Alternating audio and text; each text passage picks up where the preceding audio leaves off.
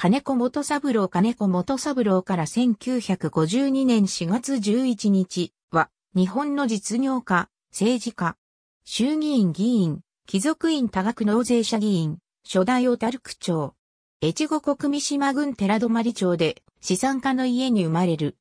幼少時に北海道正木の富豪、先代、金子元三郎の養子となり、その後、養父と共に小樽に移る。東京に遊学し、遠山光、井上角五郎らと交わる。1891年、中江町民を迎えて、北門新報を創刊し、自由民権を衝動した。1900年1月、小樽区の初代区長に就任し、道路、水道、公安、学校施設の整備を推進した。1902年8月、石川県出身で元代議士の遠藤周慶に誘われ第7回衆議院議員総選挙に、金沢市選挙区から出馬したが落選。1904年3月、第9回総選挙では、北海道町小樽区から出馬し当選。その後、第12回、第13回総選挙で当選し、衆議院議員を通算3期務めた。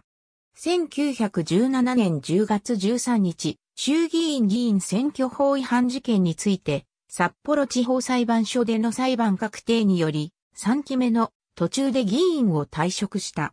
また、1925年9月29日、貴族院多額納税者議員に就任し、研究会に所属し1939年9月まで在任した。